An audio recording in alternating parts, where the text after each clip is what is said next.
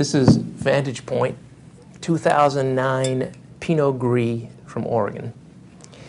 Um, Pinot Gris, as it turns out, is a grape varietal that really responds beautifully to the Oregon climate. Um, slightly cool climate works well for Pinot Noir, which is also a grape that does well in cool climates. But Pinot Gris is a grape that um, really excels in uh, Alsace in France, which is a, a, very classic cool, cool climate region. A lot of hillside vineyards. Um, of course, it's also the same grape as uh, the Pinot Grigio of Italy, and that grows in northern Italy, where it's much cooler than in southern parts of Italy.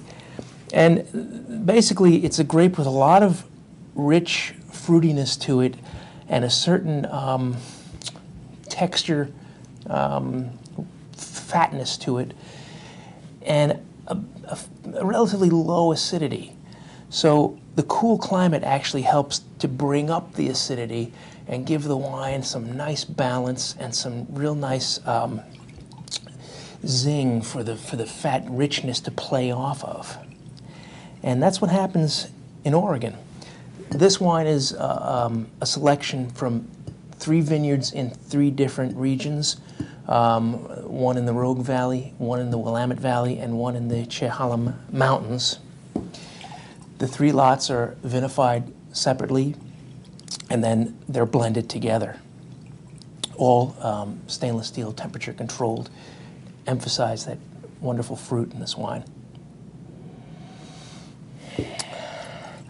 And the nose has a really nice um, notes of Granny Smith apple, a little bit of um, sort of lemon peel on that also.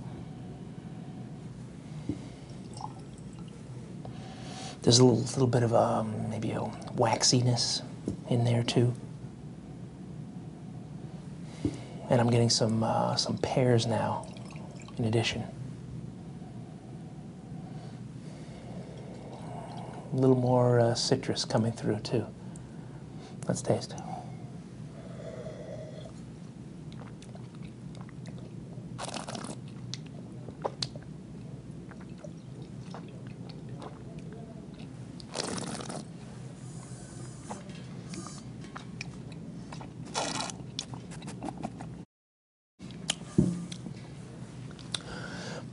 Yeah, so you have a really nice rich mouthfeel on this wine. A lot of that apple, um, pear, citrus notes, but there's nice fruit. I mean, I'm even getting some like um, peach, like a little bit of white peach coming through on that. But the acidity is there. Um, you get it immediately on the tip of your tongue, and it carries through and holds the flavors up, keeps everything sort of um, aloft while while it travels over your palate and makes its impression. Really nice. Um, these are wines that are that are great with food um, because they're rich enough to go with a lot of foods with with chickens and veals and stuff like that. But they're also balanced, really nicely balanced, so you can have them with seafood as well. And uh, enjoy.